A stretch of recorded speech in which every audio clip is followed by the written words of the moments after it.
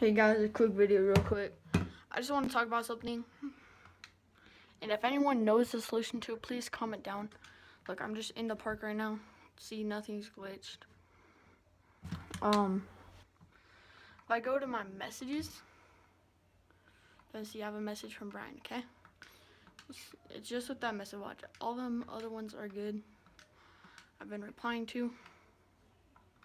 But watch. If I click on this one, my game for it. Look. I can't do anything. Uh, I've been waiting on the screen for like, like a few minutes before. It does nothing. And the only solution is for me to dashboard. But then I can't read this message. And this is the guy who like lets you know if you have any endorsement contracts.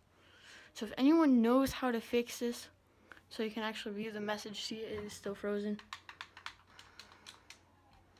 See, look, the controller still works, like, but the whole game is frozen. Please comment, and yeah.